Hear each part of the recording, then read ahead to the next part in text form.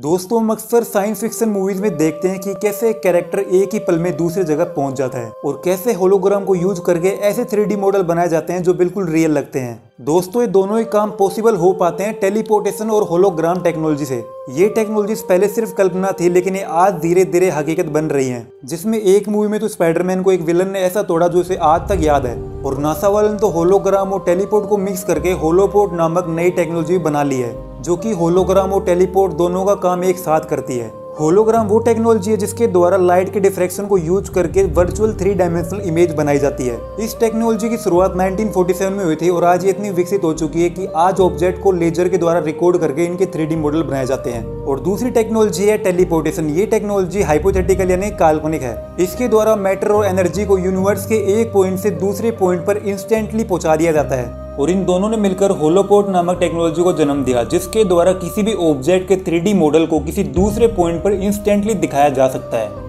जिसका प्रयोग नासा ने थोड़े दिन पहले किया। धरती पर मौजूद डॉक्टर के थ्री मॉडल को क्रिएट कर कर आईएसएस में इंस्टेंटली रिप्रेजेंट कर दिया गया।